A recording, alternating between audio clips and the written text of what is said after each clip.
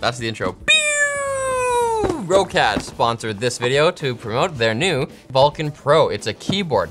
You can tell they're German because they snuck in these little German colors on the side. So this is a full 10 key keyboard. It means it has a numpad. Let's uh, get the box opened up. We have a wrist rest. Oh, I love a good peel. This looks like it clips in and it actually has a rubber uh, grips on the bottom to prevent sliding. They easily could have not put rubber on here and just had it on the keyboard. So that's kind of a nice touch. Then we've got the keyboard itself with the cable. Is this detachable? No. Okay, there's nothing else in the box other than this quick installation guide, which I don't want to have to read. So let's put this aside. Haha. A lot to notice right away. First things first. Uh, this looks pretty low profile. You might not even need this wrist rest, but if you did have it, is this magnetic? Is that, it literally was that easy. It'll, it'll come off if you lift it, but like, Magnus, that's nice. Okay, yeah, that's sweet. You get very little wrist extension, uh, which is one of like the big three ergonomic things that a keyboard can mess you up on. Uh, does it have, yeah, if you don't like that, you like extending, then why not just put the feet up? That's, this is kind of like the more normal configuration, but it's the key caps that are low profile. The keys themselves look regular size. It's just that they have taken the actual keycap and just pancake-ized it flattened it right out. I always start by typing James is the best. These are linear AF. Holy. Can we plug this in? Okay, there's the lights.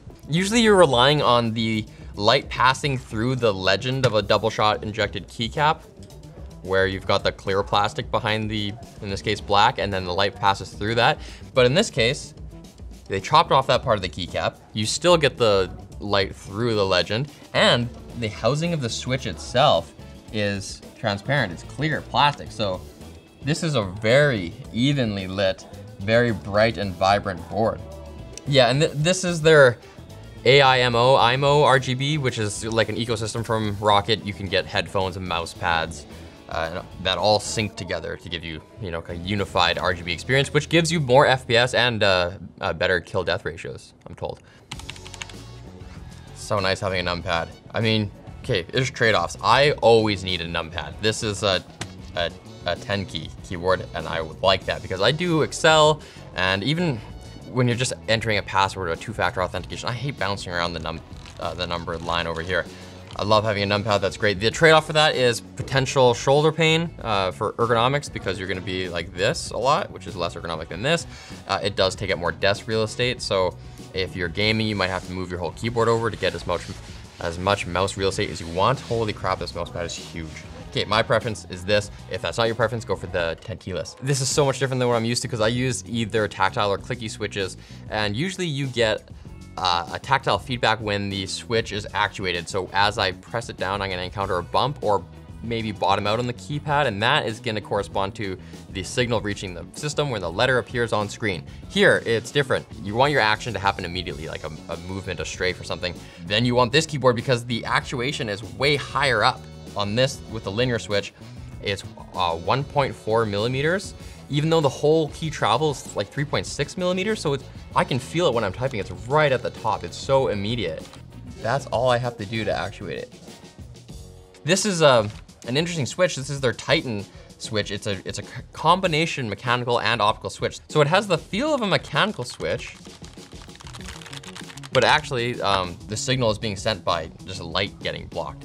So those are supposed to be faster. And if you're a competitive gamer, which I'm not, I suck, but I'll take the edge. I'll take anything I can get. Key stability is actually pretty rock solid. I think they have a novel design for that that's responsible for that. I'm just ripping these things off. Yeah, it looks like they've got like, um, there's some extra shroud around the typical kind of cherry plus sign you see there on the stem. The layout is totally standard, you know, the American flag on the box. There's no wacky like key that's shorter than normal. They've got an aluminum top plate here. Now, one of the differences between the Pro and the non-Pro, um, number one, the big one is optical mechanical switches. But the other thing is the top plate. They also have an aluminum top plate on the non-Pro, but it isn't stealthed out and blacked out. This is just black all around. On the other one, you're gonna have like a kind of a chrome edge on it. And everyone knows stealth is more premium. This is pretty rigid. There's not a lot of deck flex here, for, especially for a, a 10 key. Uh, a lot of the time you can feel like, oh, this is such a stiff keyboard. That's great, but it's a 10 keyless or even like a 60 or something, like a really small, small one.